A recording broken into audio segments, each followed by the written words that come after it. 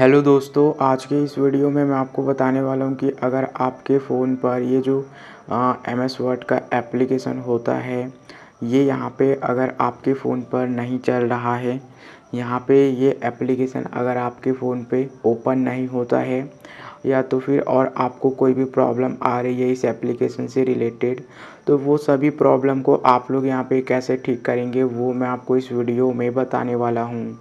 तो चलिए दोस्तों, मैं आपको बताता हूँ।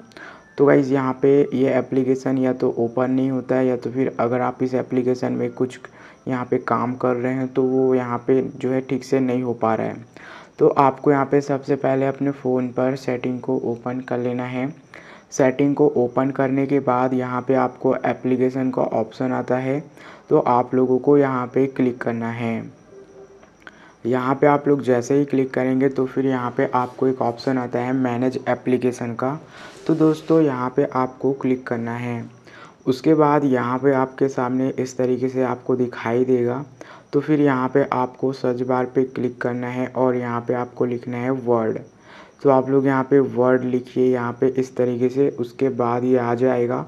तो आप लोग यहाँ पे उसको ओपन कर लीजिए। ओपन करने के बाद दोस्तों यहाँ पे आपके सामने इस तरीके से आता है। तो अब आपको यहाँ पे क्या करना है? यहाँ पे आपको स्टोरेज पे क्लिक करना है। उसके बाद यहाँ पे आपको क्लियर कैचे करना है। ओके? तो आप लोगों को नॉर्मल सा क्लियर कैचे कर लेना है। अगर आप लोग यहाँ पे क्लियर आल डेटा पे क्लिक करेंगे तो आपको दोबारा से अपनी आईडी वगैरह बनानी पड़ेगी। ओके? उसके बाद दोस्तों, आपको एक और सेटिंग करनी है। यहाँ पे आपको ऐप परमिशन का ऑप्शन आता है। यहाँ पे आपको क्लिक करना है।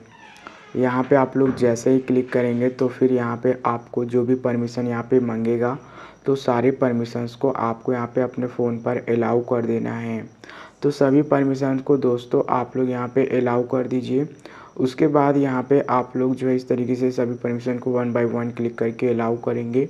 तो उसके बाद यहाँ पे आपको कोई भी प्रॉब्लम नहीं आएगी और इस तरीके से यहाँ पे आप लोग इस प्रॉब्लम को सॉल्व कर सकते हैं।